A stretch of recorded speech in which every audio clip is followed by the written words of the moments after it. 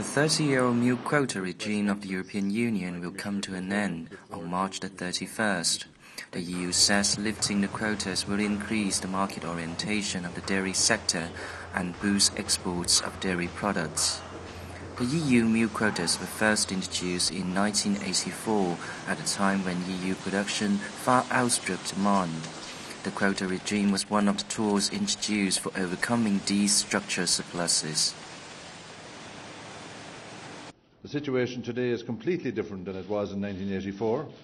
Uh, with this market, more market-orientated sector, you will recall that, that was, those were the days of butter mountains, milk lakes, even with the quotas, EU dairy exports have increased by 45% in volume and 95% in value in the past five years.